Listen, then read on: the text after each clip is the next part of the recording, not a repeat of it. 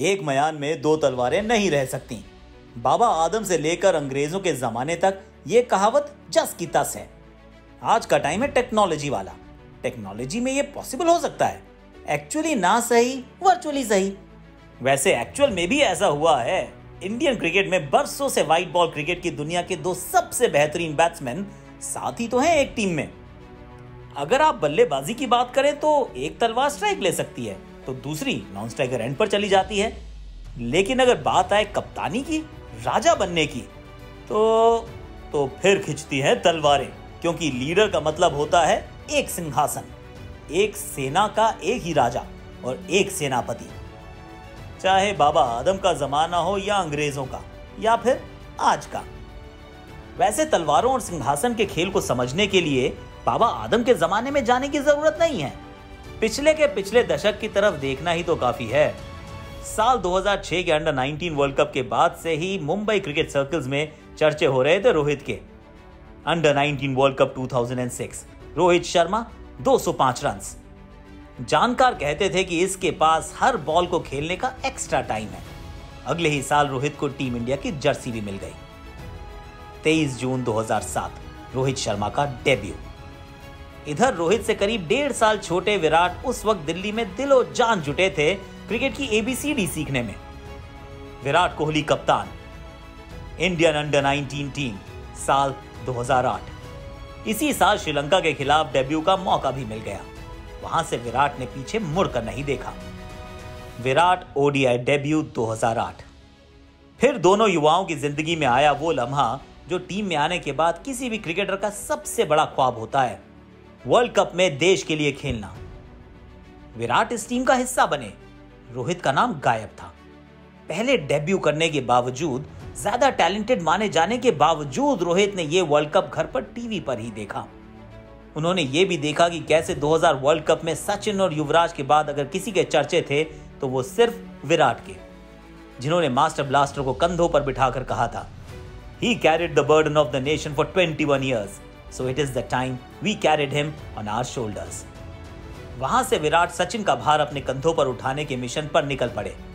विराट आगे बढ़ रहे थे, शर्मा जी स्ट्रगल कर रहे थे। कब तक? साल 2013 तक। 2013 से रोहित में वो बैट्समैन दिखना शुरू हुआ, जो मुंबई के क्रिकेट के जानकारों को बरसों से दिख रहा था।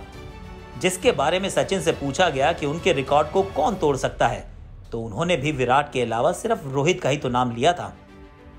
खैर 2013 बना रोहित के करियर का सबसे यादगार साल। आईपीएल की कप्तानी करते हुए रोहित पहली बार चैंपियन कप्तान कहलाए। ओपनर के तौर पर टीम इंडिया में जगह पक्की की और उसी साल वनडे में डबल सेंचुरी भी जड़ दी। रो हिट से रो सुपर हिट हो गए। तब से खंजर भी तलवार बनता गया। वनडे में जितने रन विराट बनाते, रोहित बेन के पीछे पीछे बल्ला चलाते। सेंचुरी के मामले में तो विराट आगे आगे तो रोहित पीछे पीछे सोने पर सुहागा क्या हुआ? रोहित वनडे में दो नहीं तीन तीन डबल सेंचुरी जड़ गए।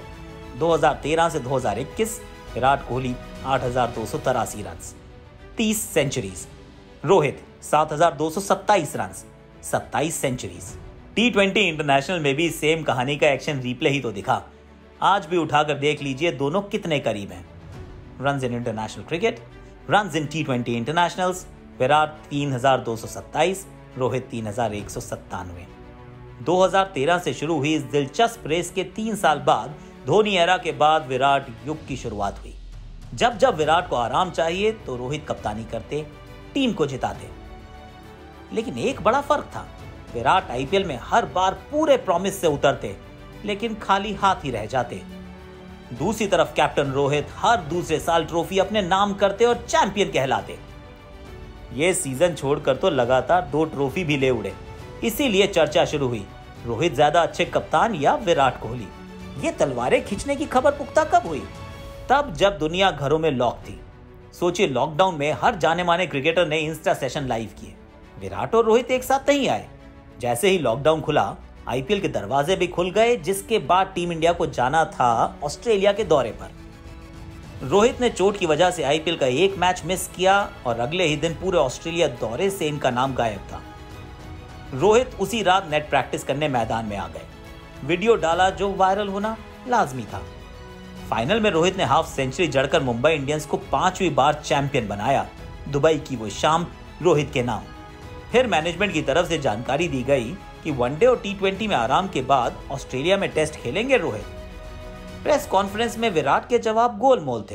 तय था, अब दो तलवारें आमने सामने हैं। मयान एक है, मकाम एक व्हाइट बॉल की कप्तानी।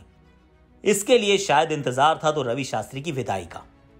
लेकिन शास्त्री की एक्चुअल नहीं वर्चुअल विदाई के दौरान ही विराट ने टी ट्वेंटी की कप्तानी को छोड़ने का ऐलान किया।